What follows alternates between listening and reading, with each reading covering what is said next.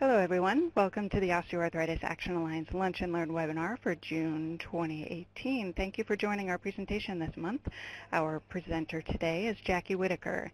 Among her many roles as an internationally recognized physiotherapist, Dr. Whittaker is an assistant professor in the Department of Physical Therapy, Faculty of Rehabilitation Medicine and Research Director of the Glen Sather Sports Medicine Clinic at the University of Alberta in Edmonton, Canada.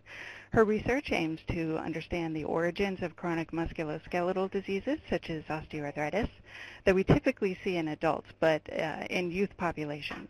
Her research looks specifically at the period between youth musculoskeletal injury and the onset of osteoarthritis, and the development and implementation of targeted secondary prevention interventions aimed at reducing the burden of osteoarthritis. Dr. Whittaker has presented a webinar for the Alliance before, and we're thrilled to have her back. So welcome, Dr. Whittaker. Perfect. Well, thanks so much. Um, I would also just like to start by thanking you guys for giving me this opportunity. Um, I know that what I've been asked to do is to share a presentation that I gave as a plenary talk at the World Congress on Osteoarthritis earlier this year in Liverpool, and that talk was on secondary prevention of osteoarthritis after joint injury. So as we all know, the burden of osteoarthritis is enormous and it's expanding at an alarming rate. And Despite the growing prevalence and burden on healthcare systems, we currently don't have a cure. Given that there is no cure, the only way that we can really go about reducing the burden of this disease is to shift our approach to management upstream and focus on prevention. Now, prevention can take on many forms. Strategy, strategies aimed at preventing or reducing risk factors in susceptible populations are typically referred to as primary prevention. Those aimed at identifying and slowing down the onset of symptomatic osteoarthritis in preclinical populations fall under the umbrella of secondary prevention, and then strategies concerned with improving function and reducing disability and those that already have osteoarthritis are grouped as tertiary prevention. In the context of joint injury, primary prevention would refer to strategies aimed at preventing joint injuries in susceptible populations, such as individuals that play sport. Secondary prevention would refer to strategies aimed at delaying or halting the onset of osteoarthritis after joint injury. And then tertiary prevention would be all about trying to improve function in those that have developed osteoarthritis having had a joint injury. Currently, we have a pretty good understanding of what needs to be done from a primary and a tertiary prevention perspective. However, there are not a lot of studies that have, that have spanned this entire period between joint injury and osteoarthritis onset. And as a result, we don't really have a lot of guidance for what we need to be doing from a secondary prevention perspective. So keeping that in mind, what I'd like to do in the next 20 minutes or so is to first present a framework for implementing secondary prevention of post-traumatic osteoarthritis, building off a model that exists already in the field of sport injury prevention, answer the question, who's at greatest risk of osteoarthritis after joint injury and what can we do about it, based on the best evidence that we have and what we've learned from the fields of primary and tertiary prevention. And then finally, I just want to end with a couple of considerations of things that we're going to have to keep in mind as we move forward and take on the challenge of, post, uh, of secondary prevention of post-traumatic osteoarthritis. So the prevailing model or framework that underlies the field of sport injury prevention is the six-stage TRIP, or Translating Research into Injury Prevention Practice model. And although it was developed to facilitate the prevention of sport injuries, which you will recall from my earlier slide equates to primary prevention of post-traumatic osteoarthritis, I believe that it can also be adapted to secondary prevention as well.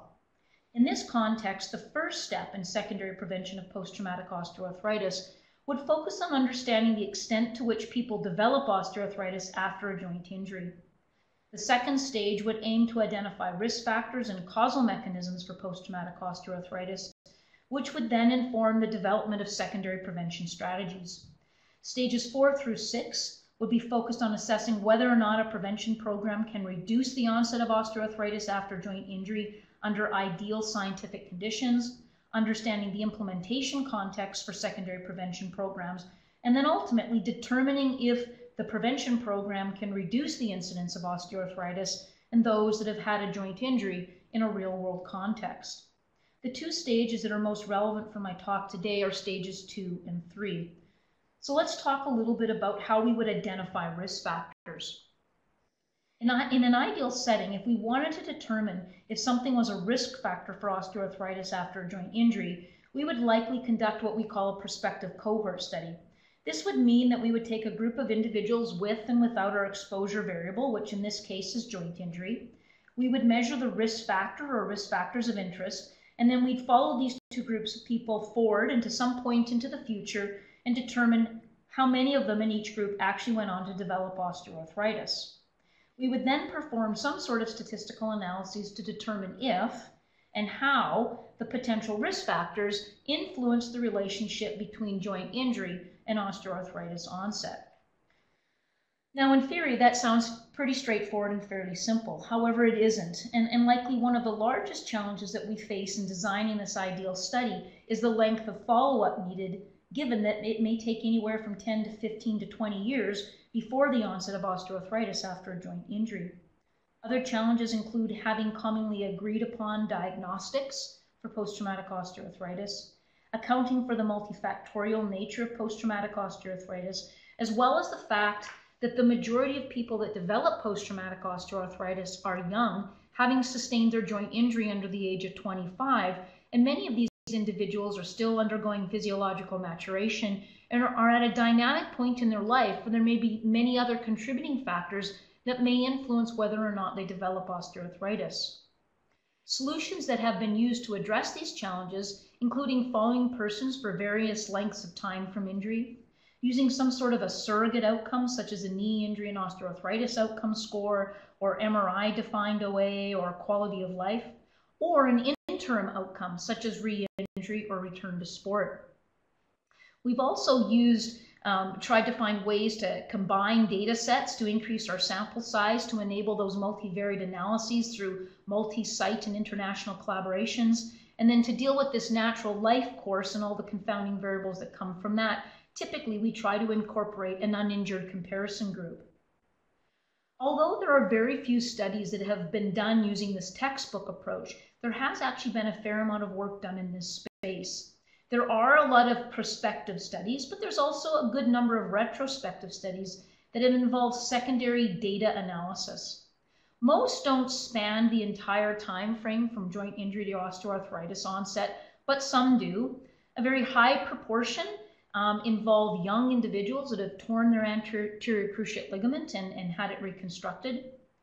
Few, unfortunately, have incorporated uninjured comparison groups, and as you might imagine, there's been a diversity of potential risk factors for post-traumatic osteoarthritis that have been considered. Some of these studies have been focused on understanding the extent to which joint injury leads to osteoarthritis, and they've really been focused on non-modifiable risk factors such as age, sex, and injury type. These studies have been essential to our understanding of the increased risk of developing osteoarthritis after an ACL tear, an ACL reconstruction, or a combination of knee injuries.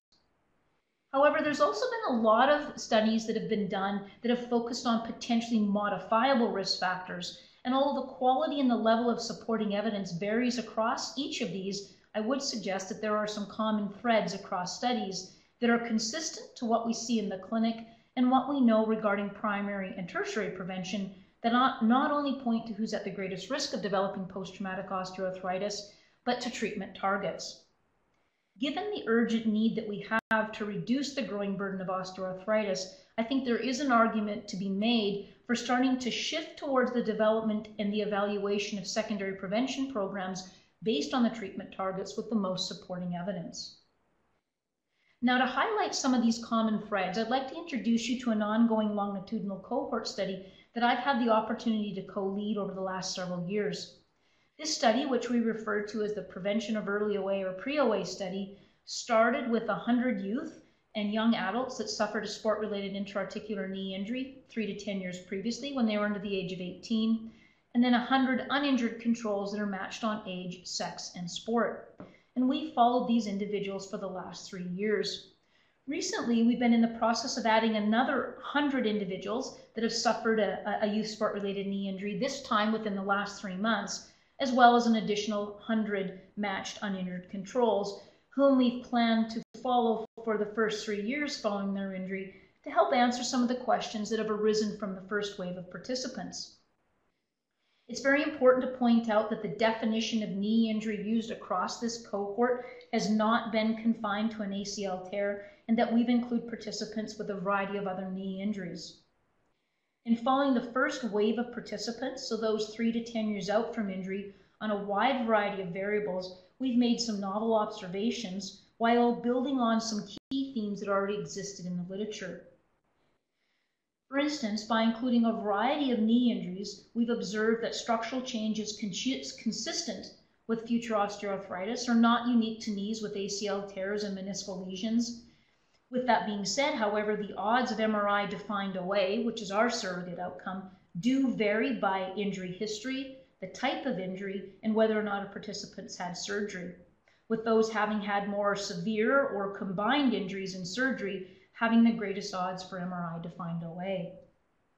By including participants at various lengths of time from injury, we've identified that previously injured participants score lower, indicating poorer outcome on all five subscales of the knee injury and osteoarthritis outcome score, which is a patient reported outcome measure to assess self reported symptoms and functions. So, over the next few slides, I'm going to show you a series of plots based on predicted values from best fit models that included a bare minimum time since injury and sex. The outcome of interest, um, in this case, which is the KOOS symptom subscale, will be on the vertical axis, and time since injury will be across the bottom. Females will be represented by green lines, males by black. Previously injured participants will have broken lines, and the controls will have solid lines. So, for instance, what you can see on this slide is that the KOOS symptom subscale scores do not differ by sex, but in those previously injured, the lower the scores were lower, the further they were from their injury. We've also observed that previously injured participants have weaker knee extensors than uninjured controls, and that this varies by sex and the further the participant was from injury, with females the furthest away from injury demonstrating the weakest knee extensors. We've shown a similar pattern for the knee flexor strength, although time since injury was less of a factor here. Using the triple single leg hop test, we've observed that the dynamic balance of these people varies by sex, and for the previously injured participants, performance on this task diminishes the further they are from injury. One of the more troubling observations was that previously injured participants have greater fat mass index, which varies by sex and time from injury. Given that obesity is a known risk factor for osteoarthritis, this observation suggests that some of the participants in the previously injured group may actually have a compounded risk for osteoarthritis due to the amount of adipose tissue that they have. To add to this concern was the observation that previously injured participants were two times more likely to be in the lowest quartile for self-reported physical activity and that physical activity decreased the greater the time from injury. And then the last thing that I just want to touch on quickly are findings from interviews aimed at assessing beliefs related to sport, injury, and osteoarthritis. There were four main themes that emerged from this work acceptance, resiliency and determination, knee confidence, and athletic identity. These patients reported varying and at times unrealistic degrees of acceptance regarding the impact of their injury on sporting ability and future risk for osteoarthritis. Many were highly motivated to recover and, and meet the injury with resilience, and as a result, they reported not always pacing themselves well. Most reported a reduction in knee confidence and an evolution of their so-called athletic identity since their injury, and, and that that had been impacted both by the injury itself as well as other life experiences. So starting with the findings of the pre-OA study and then looking to the evidence base, I think we can quite easily start to construct a profile of who's at greatest risk of osteoarthritis after joint injury. First of all, I think we can all agree that there is overwhelming evidence that those who suffer an ACL tear, especially if it's in combination with a meniscal or an osteochondral lesion, are at a very high risk of osteoarthritis. It goes without saying then that re-injury, which is a significant issue after an ACL tear and is associated with worse five-year outcomes, will also increase the risk of osteoarthritis. And as there is a clear link between meeting return to sport criteria and risk of re-injury, it seems reasonable to assume that an individual who returns to sport after an injury that does not meet return to sport criteria are likely at a high risk of future injury and subsequent osteoarthritis. Following joint injury, the most accepted risk factor for osteoarthritis is obesity, which contributes to the development of knee OA through both systemic and mechanical mechanisms. The lifetime risk of osteoarthritis increases with increasing BMI, and beyond the findings from the pre-OA study, there is also evidence that young female athletes gain more fat mass in the one year following an ACL injury compared to their uninjured teammates.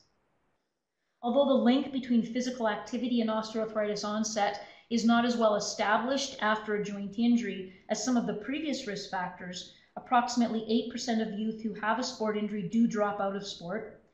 20% of those that tear their ACL um, return to, do not return to sport.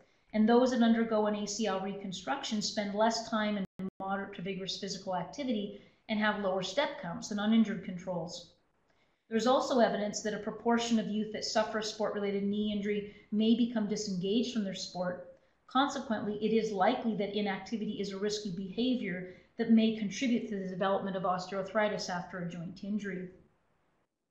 With respect to muscle strength, meta-analyses tell us that the odds of developing symptomatic osteoarthritis was about 1.7 times greater for persons with weaker knee extensors than stronger extensors and recent work from a tertiary prevention perspective has shown that knee extensor strength gains mediate pain and physical function improvements in patients with knee osteoarthritis.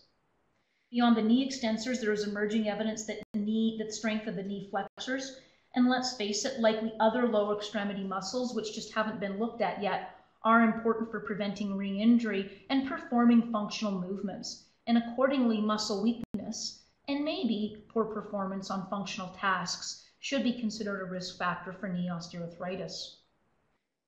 From a clinical perspective, there's evidence that prehabilitation and early exercise therapy for those undergoing an ACL reconstruction are associated with better two-year function. There's also emerging evidence that fewer symptoms and fear of movement at baseline or six months are associated with better long-term consequences. Finally, there is cross-sectional evidence that individuals that have undergone an ACL reconstruction in the past and now have osteoarthritis have poorer knee confidence and a greater amount of fear of movement than those that have undergone an ACL reconstruction in the past and don't have osteoarthritis. Consequently, it is possible that individuals that have had insufficient rehabilitation or have more symptoms and greater fear of movement may be at a higher risk of osteoarthritis. And then this brings us to a set of other potential risk factors associated with patients' knowledge and beliefs regarding how to interpret and manage flare-ups, how to pace their activity levels, and a variety of other subjects. A survey of patients undergoing ACL reconstruction identified that many of these participants have inappropriate beliefs regarding their ability to return to sport after surgery and future osteoarthritis risk. For example, 91% expect to return to sport the, at the same level by one year post-surgery, when we know in reality that that number is closer to 65%. Further, only 2% thought that they had an increased risk for future osteoarthritis, when we would estimate this to be much more like 50%. There's also a well-established body of evidence that unrealistic patient expectations can lead to negative outcomes, and therefore it's likely that a lack of knowledge and inappropriate beliefs may also have a place in this at-risk profile. Finally, I just want to touch on nutrition, given that certain micronutrients have previously been shown to have an integral role in joint and bone health. Preliminary data from 40 participants, in the second wave of the pre-OA study at the time of injury is showing that alarmingly few of them meet recommended dietary guidelines for vitamin D, K, or calcium intake. Further, there's evidence from the Osteoarthritis Initiative database showing a higher prevalence of symptomatic radiographic osteoarthritis in persons with a high dietary inflammatory index, indicating a more pro-inflammatory diet. Therefore, it is plausible, although more work is required, that micronutrient deficiency and a high dietary inflammatory index may also be risky behaviors in the context of joint injury and future osteoarthritis. So given this risk profile, what would a secondary prevention program look like if we wanted to take action right now? So based on what we know from primary and tertiary prevention, I don't think it's going to be really shocking to very many people when I say that we're likely looking at some combination of exercise therapy and education. From an exercise perspective, obviously knee extension strength, as well as the strength and capacity of the remaining leg and trunk muscles is going to be vital. With that said, strength alone is likely not going to be enough as it's critical that these patients can perform functional tasks that are relevant and important to them, whether that be in the context of their lifestyle, sport, or occupation. I think a key component to this exercise program is going to be dealing with fear of movement through confronting provocative movements and myths regarding weight bearing and joint loading. Finally, it's critical that any exercise therapy program promote or better yet, incorporate recommended levels of physical activity. From an education perspective, it's going to be critical to provide patients with information that allows them to develop realistic expectations regarding return to sport, re-injury, and osteoarthritis risk within the context of the severity of their injury. This will likely mean having to help them to let go of some unrealistic expectations that they've picked up from other sources along the way. Another important piece is balancing their needs to meet their um, balancing their needs for physical activity, rehabilitation, and sport while pacing and managing flare-ups. It will likely be important to discuss how to avoid re-injury and the importance of return to sport criteria. And if there is a need to modify a patient's physical activity or sport, it will be critical to work with them to understand what their preferences are as we make those changes. Finally, there's an important piece related to weight management and diet. Targets might include micronutrient supplementation, caloric intake, and then reducing that dietary inflammatory index. Now, I think there's also a third essential element to this intervention, and I've termed it, for a lack of a better word, provider approach. And what I'm trying to get at here is the philosophy underlying a healthcare provider's approach to patients with acute knee injuries. This philosophy needs to be one of co-management where we're willing to have the difficult conversations while balancing the need for realistic expectations without over medicalizing the situation. We also have to be willing to challenge our default approach to treatment and embrace exercise therapy as the first line treatment. That doesn't mean that exercise therapy is going to be the only form of treatment, um, but it should be the first treatment and it should be done adequately before we move on in, in a lot of cases to the next stage. Um, and I know there are exceptions to that as well. The best way to deal with any problem is to avoid it. So the earlier and more individualized one approach can be to minimizing the onset of, of risk factors that may compound the risk for osteoarthritis after injury, such as a gain in adiposity, the better. A final key piece to this philosophy is to never forget that the long-term goal here is lifelong musculoskeletal health and mobility, which may or may not involve return to sport at a pre-injury level, and it may or may not return involve return to sport promptly. It may take some time. So we've talked about who's at the greatest risk of post-traumatic osteoarthritis and what a prevention strategy might look like. I just want to finish with a few thoughts about things that we might need to consider as we move on to testing and implementing secondary prevention strategies. I think that it's very important for us to learn from those that have come before us in the fields of primary and tertiary prevention. We're going to have to eventually down the road combine data from a variety of different intervention studies in a meta-analysis to show that these approaches work. And as a result, it's really important that at this point in time, we agree upon things like surrogate outcomes and definitions um, for certain outcomes and common methods to measure them to facilitate these future meta-analyses. With respect to implementation context, it's important to realize that patients' needs will vary by injury type, injury age, and time since injury. Therefore, our approaches will need to be flexible and adaptable. In addition, we need to keep in mind that this patient population is young and adherence to exercise therapy in youth is notoriously poor. Interventions will need to be accessible, social, and focus on developing self-efficacy. It's also likely based on what we know in the field of youth physical activity interventions that different approaches may be needed and, and taken for different genders. Finally, we must remember that knowing what to do and getting people to do it are not the same thing. The one thing that can be guaranteed is that if we leave implementation to later, it will be challenging, if not impossible, for us to do it. If secondary prevention of post-traumatic osteoarthritis is a challenge that you want to take on, I would really encourage you to include an implementation scientist on your team now, employ frameworks such as the RE-AIM framework, and, and ultimately to, to, to ultimately improve the adoption of the intervention you come with, up with. And then probably most importantly is consider consulting patients and clinicians and actually involving them in your research now. So I'm just going to finish there by acknowledging all of my co-investigators, our research coordinators, trainees, all the funding that we've received for this, this cohort study, as well as, as acknowledge all of those that have contributed to the information that I've drawn from for this presentation.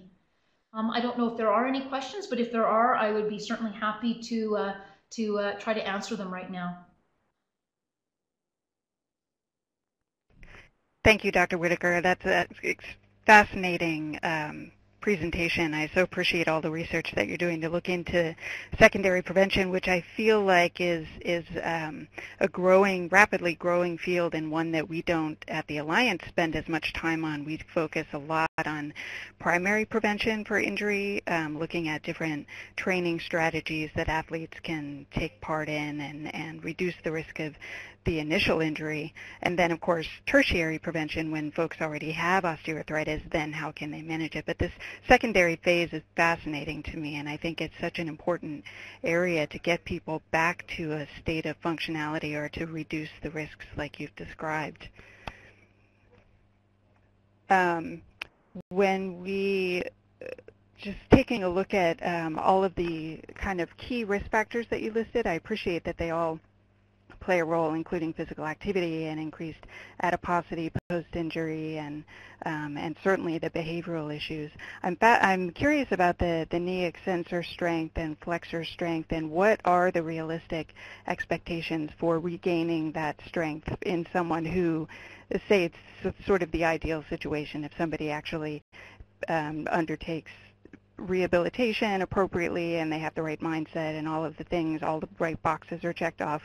Um, you know, the tissue has been damaged. How can, how, what would you expect is the um, ability to recover 100% or, um, you know, is there always going to be that room for risk and, and further damage? Yeah, I mean, I think it's a really interesting question, and I think you know the answer to the question realistically is that it, it it's going to be individual, and it'll it'll depend on the type of injury and, the, and if they've had surgery, the type of surgery they've had. You know, if they've had their ACL reconstructed, was that done with a patellar tendon or a hamstring or an allograft or something else?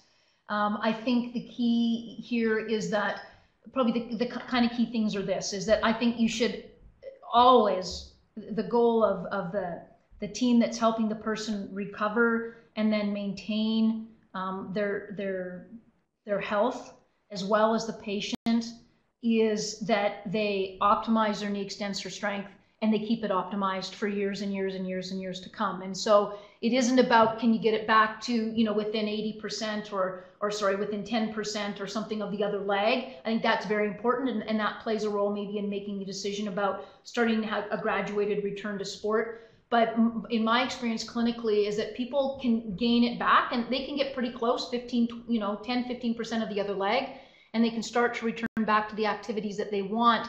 But it does appear over time if they don't maintain the strength that they can start to lose it again. And i think that that's actually what we showed a little bit in our pre-oa study. You know what we saw was that for the injured participants the further they were away from injury the weaker their knee extensors were and um, that tells me that, okay, yep, maybe the work's being done up front when they're going through their acute rehab or their post-surgical rehab. Um, but three, four, six, ten years later, they're weaker in those muscles. And we know undoubtedly there's plenty, I think, of very high level quality of evidence to show us that that is going to uh, potentially be part of the mechanism of why they go on to develop the disease and probably also the rate at which osteoarthritis itself worsens. Um, we know that we can mitigate some of the, the pain and some of the functional loss in patients that have osteoarthritis by improving their knee extensor strength. So I do think the knee extensors are a critical part of it. I do believe other muscles probably play an important role as well. We just haven't investigated them. Um, and, you know, I mean, the ultimate answer to your question is it is going to be individual, but I think it needs to be from day one a priority. And we need to really work with patients to stress the importance of gaining that strength, but not only gaining it, maintaining it. And, you know, literally that may mean that they're doing strengthening exercises for their quadriceps for the rest of their lives.